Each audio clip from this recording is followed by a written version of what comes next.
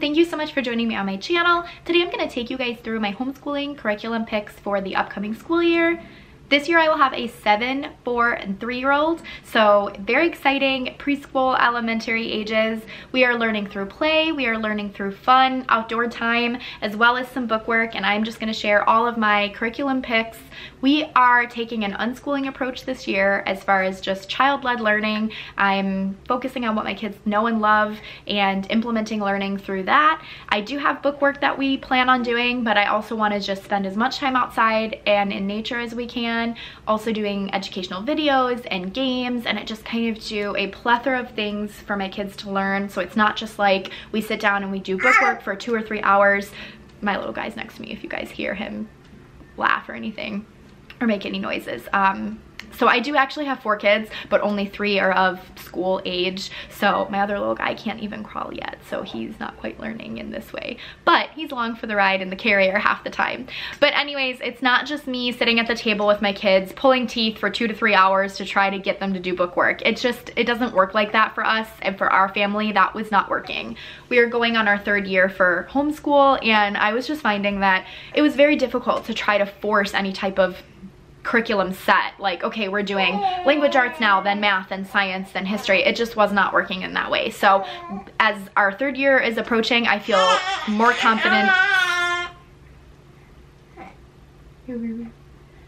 so as we approach our third year of homeschooling, I am more confident than ever that this is the right way to do it for us. It works well. My kids are excited to learn. My son is excited to use these resources. He has been begging me to make my video because I told him we can't use our books until I make my video and just kind of discuss my homeschool style for the year and what resources we're using. So we're making the video so that we can get into learning and that is what I want for my kids is for them to love learning and to be passionate about what they're learning. And if I can tailor that to what they already like, it just works out in that way.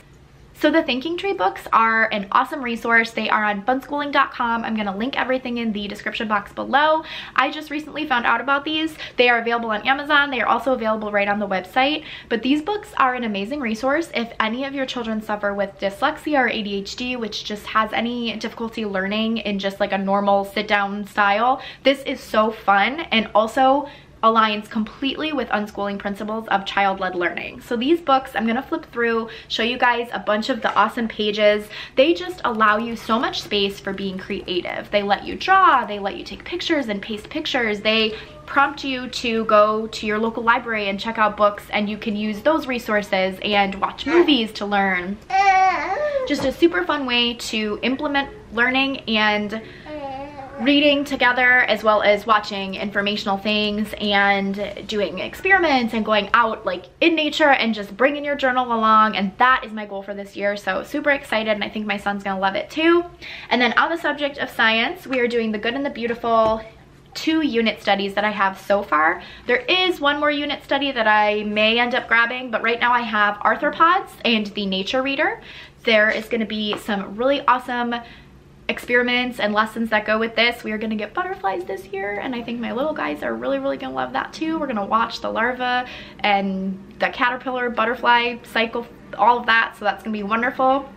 And then I also have the mammals unit study with the good and the beautiful. Again, I'll link everything below just so you can go to the website and browse anything that you guys see if you see what you like. I'm going to flip through this book as well and just kind of show you some of the lessons that will be in there. What I did with both of these books, I actually ordered and they came as loose leaf books and then your local office supply store will do the binding for you like this.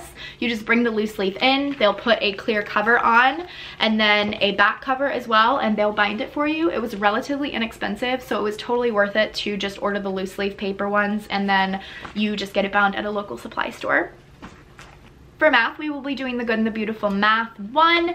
These lessons are so quick and easy. My son loves them. They're fun. They keep his attention and they're just, they're fun to do. You play games, you color, you do things together. It is very easy. They tell you the directions on what to do for everything. And then it also comes with this awesome math box. Um, it just comes with like dry erase board on the other side of this, a clock on the front. It's got little clocks that you can work on telling time with. It's got some shapes, some cubes, all those things.